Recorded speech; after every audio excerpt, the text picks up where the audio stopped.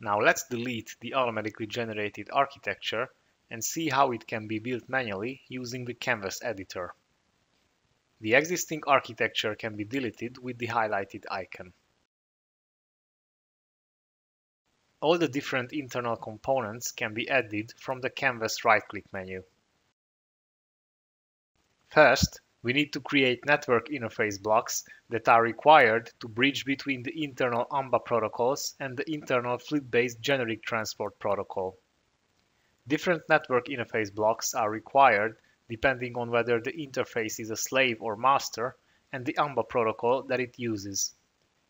Each network interface supports optional retiming stages via its right-click menu on the canvas.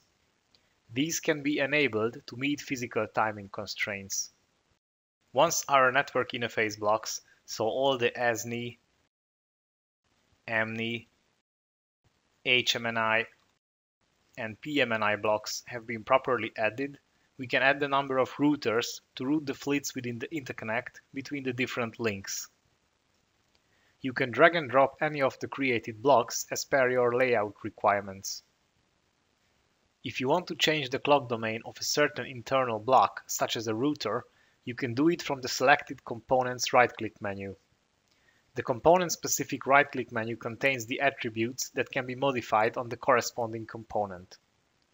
HMNI and PMNI blocks must be connected to low-wire routers, so in such a case, we will need to switch the corresponding router from the default high-wire to low-wire mode. The difference is that high-wire routers support 4 channels, so dedicated read-write request and response channels, while low-wire routers support only 2 channels, where the request and response channels are shared between reads and writes. We will then switch to connection tool mode to draw the connections between the created network interfaces and routers. If a connection is deemed too long, the tool will highlight it in red. In such a case, you can either change the die properties and constraints that are available through the appropriate icon, or you can add additional pipeline routers. If you try to connect a high-wire router to a block that supports only low-wire, then the tool would gate it through an on-the-fly running check displaying a proper error message. Next, we add the config blocks that are necessary for accessing the configuration register space. As we need access from both power domains, we set up two config instances, one for each power domain, and then connect those up in our topology.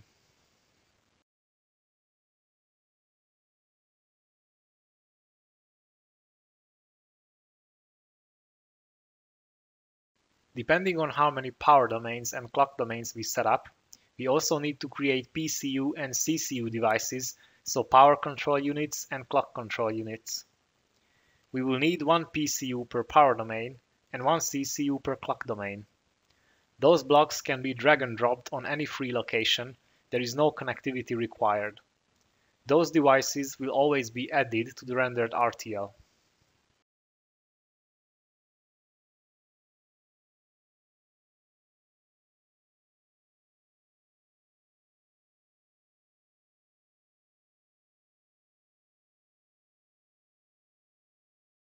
If you look at the toolbar, you will notice a set of icons, which are for launching different built-in automation flows.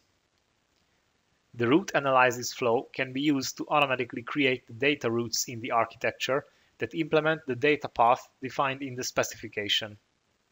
The created routes can be navigated from the CoreLink NI routing tab, where the selected route is highlighted on the canvas.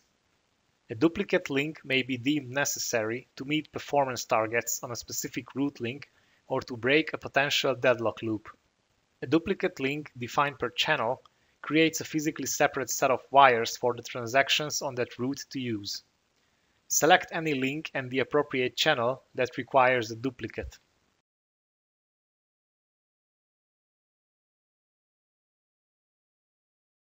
As you can have multiple power, clock, and flit width domains across your architecture, you will need to add the required bridging where necessary.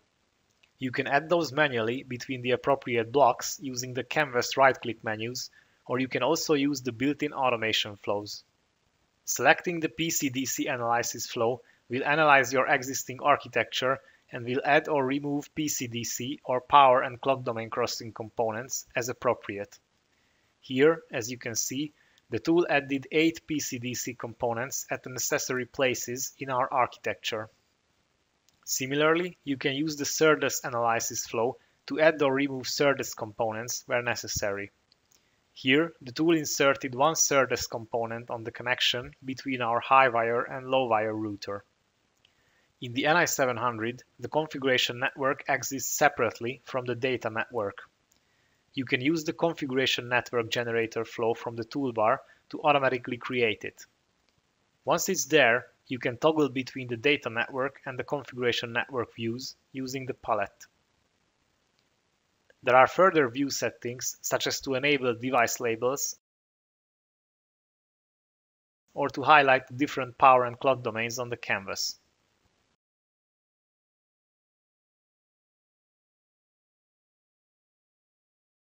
Users can run the built-in architecture design rule checks several times during configuration to give an early indication of any issues.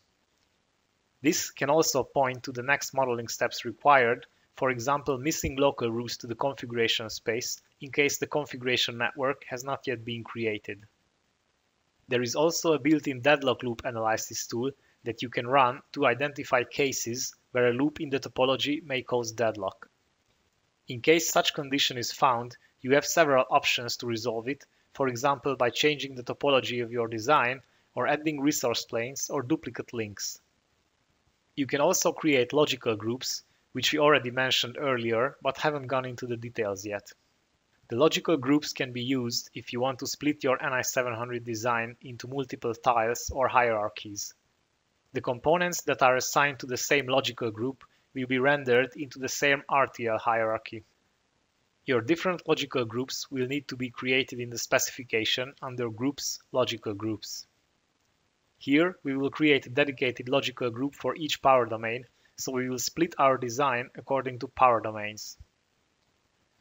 Once we set up our logical groups, we can go back to the canvas and assign the different internal components to the appropriate logical group using the right-click menu. As we are splitting our design according to power domains, we can use the power and clock domain filter to see which power domain our components belong to. You can also select multiple components and set the logical group attribute at the same time.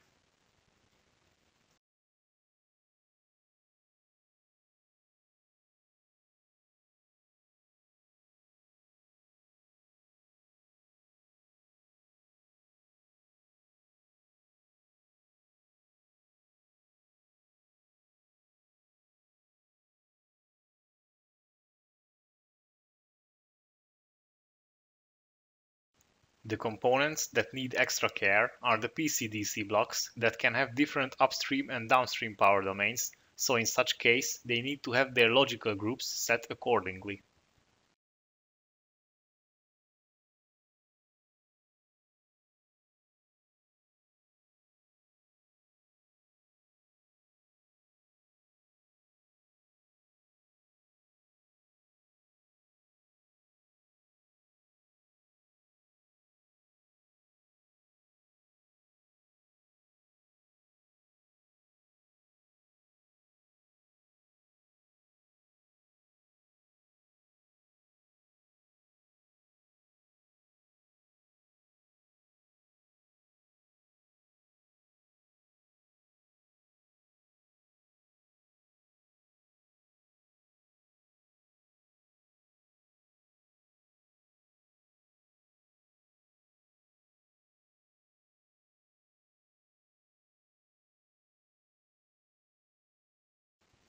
Once all components have been assigned to the appropriate logical group, you can use the logical group filter to check that the assignments have been properly made.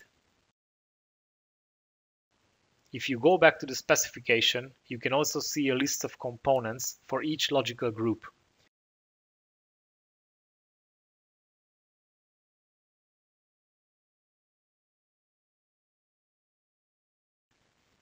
When the design is complete, you can generate the deliverables using the corresponding icon in the toolbar.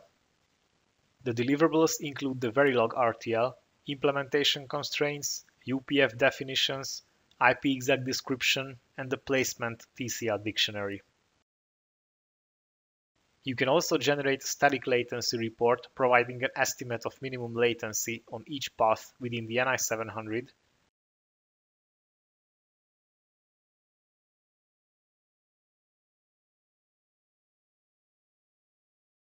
and an area report that gives an estimated area for all elements that you specified on the canvas.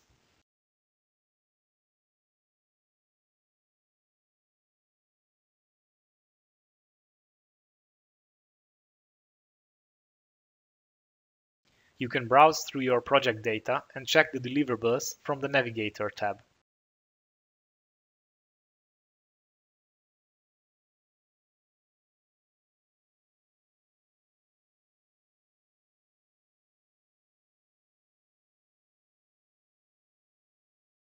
As you can see, you have your design split according to the two logical groups that are instantiated within the top-level component.